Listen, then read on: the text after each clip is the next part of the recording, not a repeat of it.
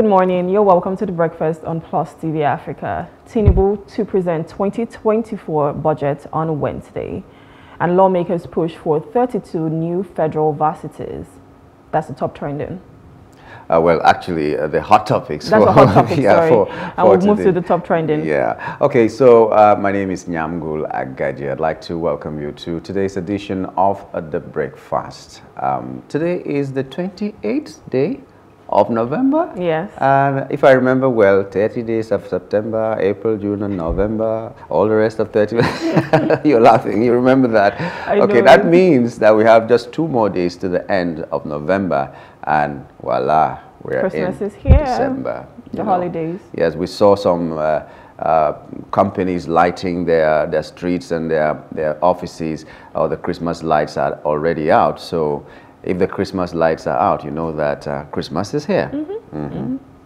So whatever you need to do for Christmas, you do. Well, now is the time to go and get your Christmas clothes. yeah, but, but, you know it's not my birthday; it's Jesus' birthday. I'll be in church to say happy birthday to Jesus. Well, there's that. Everybody who's looking I, I, I think I still want my Christmas. I, I wish I was still a kid. Mm. I remember when they would buy Christmas clothes and shoes, and you're so excited. I would try them on like every single day before Christmas because yeah. I cannot wait to wear them on Christmas Day. I know how many how many how many children were spanked because of that. You, they mm. buy you Christmas shoes, uh, maybe two weeks to the Christmas, and you you're begin to try them yes. so much, and you're like, out of excitement. You want to spoil them before the Christmas Day, and you're spanked and all that. I know. But it was fun, you know. Just growing up was fun. Mm. But right now, as an adult, someone comes to you and just suddenly asks you, "What do you want for Christmas?"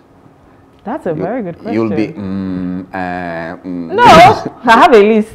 really? A list? I'll have a list for you. What do I want? Oh, please, can we talk about houses and cars and Houses shoes? for Christmas? Uh, uh, why not? You have to Were you the one who was born on Christmas? Were you the one who was uh, born on Christmas? I'm Jesus' child, though. okay, ladies and gentlemen, we're so glad that you're here today. We have uh, top trending yes. issues. You might just want to take the top trending. Okay, so for our top trending, we have a few stories for you. The first one is gunmen kill two Nigerian policemen, um, one civilian in Imo State. Gunmen have struck again in Imo State, killing two Nigerian policemen and a civilian at Ahiara Junction in the Ahiazu Mbise local government area of the state. The attack came on Monday at the time the new commissioner of the police in the state, Danjuma Aboki, was in the area on a morale-boosting visit to his officers in the Mbise general area. The attackers opened fire on the officers who were in uniform in the area, killing them instantly, while another civilian who was a passerby was hit by a stray bullet. The spokesperson for the police in the state, Henry Okoye, said that the commander declared a manhunt for the fleeing suspects. He said the Commissioner of Police in Imo State Command, CP Aboki Danjuma, Commander 34 Artillery Brigade and Joint Task Force operatives are combining, are combing rather the scene of the crime for evidence that will possibly lead to the arrest of hoodlums responsible for the attack and killing and the killing of two policemen at the Ahiara Junction in Ahiazu Mbise local government area of Imo State. Only on Saturday evening, the lifeless body of a traditional ruler of Utulu Autonomous Community in the neighboring Ehinze Hite Imbise local government area, Eze, Joe Ochulo, was found dead at the neighboring Aboh Mbise local government area. The monarch had been kidnapped from his palace on Saturday morning. Also, a few days earlier, the war chairman of the People's Democratic Party in the Ife Akodim Chokonze ward in the Ezinihitte Mbise local government area of the state, Chiedoziem Anyanwu, was assassinated in the presence of his wife. On arrival, his killers demanded to see him and immediately shot him repeatedly as soon as they confirmed he was the one they were looking for.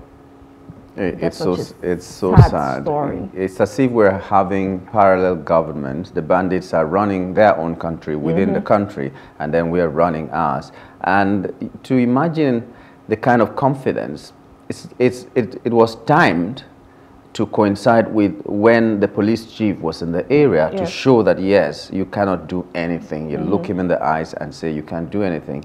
And then they shot uh, two policemen And then most, most unfortunate is the fact that uh, a passerby, a civilian mm -hmm. who had nothing to do, even the police didn't have anything to do to anyway, do but yeah. this one also, I wonder where he was going to.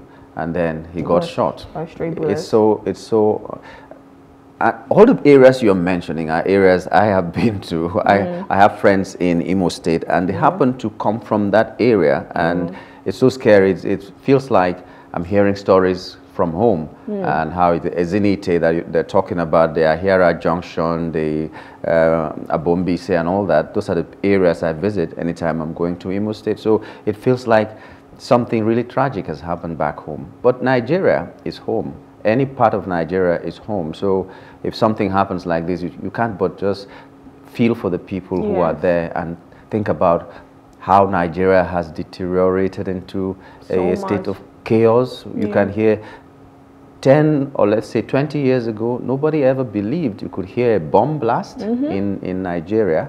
You could hear gunshots anyhow in Nigeria. You couldn't. We had the times of Anini, the arm robber, mm. uh, the so many but other then names. it was robbery. But just Not robbery. bandits and gunmen and um, Boko Haram and all of like. There's so much insurgents that has taken assassination over. because like this chief, you know, they came, asked, identified yeah. him, and immediately shot shot him it means that they were expressly either sent yes. or he was just a target because of one or two things. And when they were sure done. that he was the one, that was when they shot. So they did mm not even want to look for someone else and shoot the wrong person. Mm -hmm. It had to be that person. So it wasn't a robbery, it wasn't anything, no. it was a targeted assassination. And it's been happening all the What's time. happening in the East is really sad because you're hearing so many stories um, on gunmen. In fact, people cannot go home I'm sure like this is Christmas. Usually people who are from the East, they love to go home during the mm -hmm. holiday season. They love to, you know, have parties. They see it as a reunion basically. But now with all of this, you can't even go home. There are people, I have a friend who was supposed to go bury her dad in the East, but she's like, I don't, I don't want any of my friends to come because I cannot guarantee your safety. Mm -hmm. I cannot guarantee that you will be secured when you're there because there's a lot of things happening.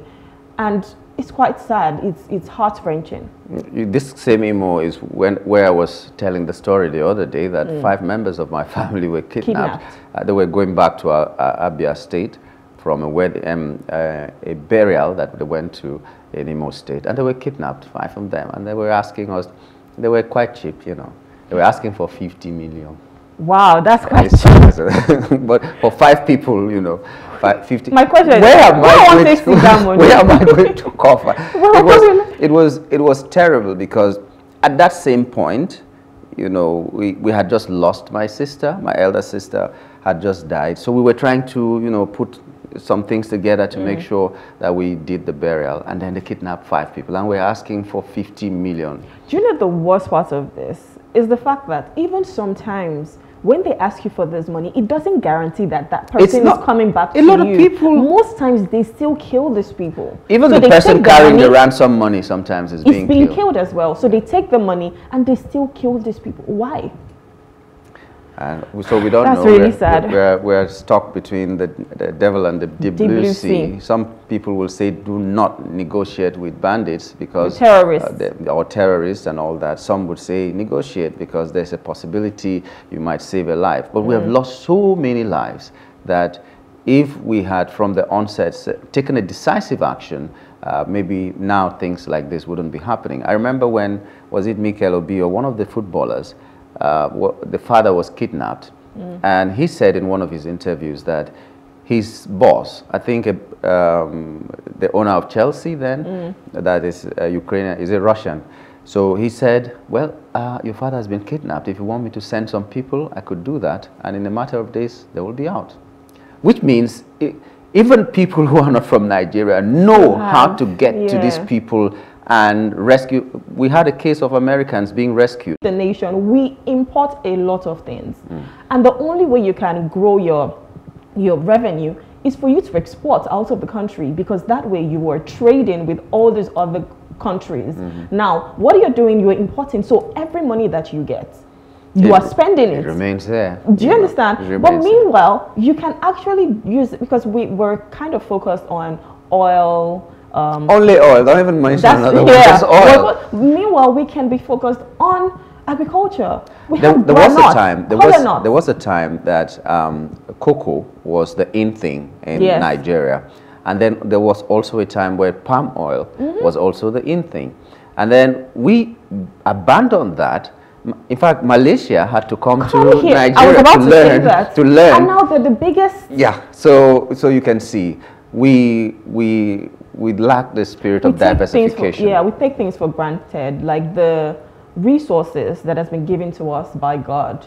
Um, because I always say Nigeria is a very blessed country. We don't have I think we are too blessed, so we take it for granted. We don't have natural disasters. There's nothing like we don't. The only issue is sometimes okay, um, the economic realities, and maybe we don't have enough policies by the government to be able to enable us to have you know a good livelihood. However, there's no natural disaster. Our soil is good. We have a warm weather all round. Everything is we're blessed. Mm. And we need to start thinking of how to use those resources that we have to be able to get in more things into our country.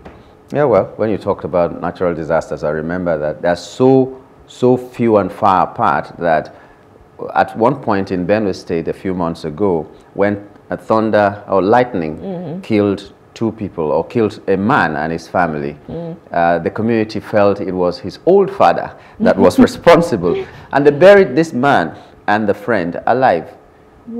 So it tells you they are not used to this kind of things. They are attributing it to supernatural forces that are mm. not supposed to be wicked witches and all that mm. and all that. Village if, people. if the, yeah, if these things were common in Nigeria, they would understand that they happen. Mm-hmm. But because it's not common, they're still You're thinking it's witchcraft. Or Katrina, um, all this. they never see something. okay, let's take the final top trending story. Israel and Hamas extend truce in Gaza for two days. The four-day truce between Israel and Hamas in Gaza has been extended for another two days amid commendations of the released hostages from both sides. According to a report, Qatar disclosed this, adding that the Hamas said the extension was under the same conditions, which were for 50 Israeli hostages to be released in exchange for 150 Palestinian prisoners. Meanwhile, Israel has yet to affirm this, but has asserted that there would be a day's pause in the fighting for every 10 Israeli hostages released. This came as both sides prepared for the final exchange under the initial deal that took effect on Friday. 11 Israeli women and children held in Gaza and 33 Palestinian women and teenagers in Israel jails are expected to be released. Hamas, which is regarded as a terrorist organization by Israel, has freed 39 Israelis over the three over the previous three days. In exchange, Israel has freed 117 Palestinian prisoners. 19 foreign national, uh, nationals, one of whom Israel, Israeli citizenship, has also been handed over Hamas under separate agreements. The cessation of the fighting has also allowed a tremendous rise in deliveries of aid to Gaza, where there is deepening humanitarian crisis. Before the extension was announced, the Palestinian official told the, um, one of the biggest news um, agencies between 20 and 40 additional Israelis hostages could be freed by Hamas. An Israeli official, meanwhile, said that 184 people remained in captivity in Gaza, including 14 foreign nationals and 80 Israelis with dual citizenship. Israel launched a military campaign in Gaza and imposed a siege in response to an unprecedented cross-border attack by a mass gunmen in which killed at least 1,200 people, were, were also killed and about 240 people were taken hostage. Gaza's Hamas-run government says more than 14,800 people have been killed in the territory since the war began. Um, well, we thank God that at least small, small gains are being made by the people who are negotiating, and we hope for peace.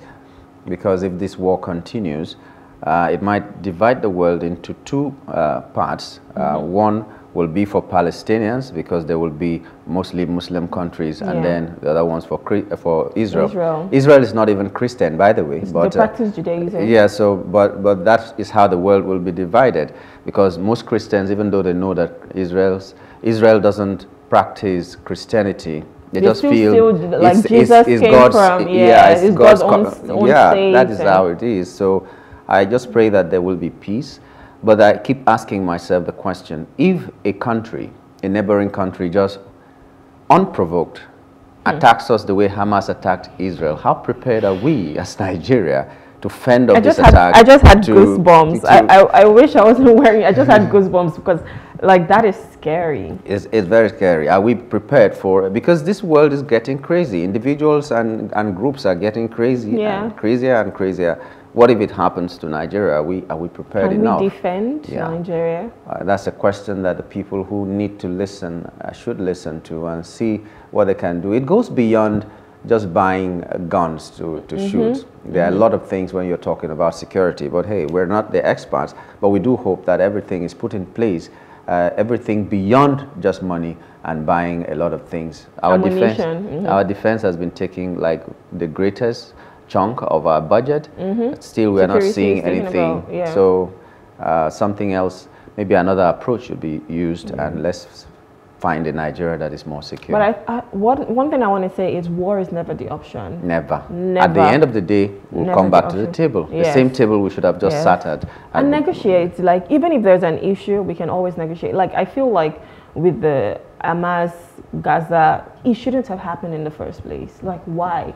Even if you felt some type of way, talk about it. Mm -hmm. Even in our daily lives, if you have an issue with a friend, a brother, a colleague, talk about it. You don't have to, you know, go through grievous means to hurt them. So war is never an option. So let's not war even with ourselves. And mm -hmm. uh, that is how we are going to end this segment and take a short break. And when we return, we'll be reviewing the papers. Stay with us.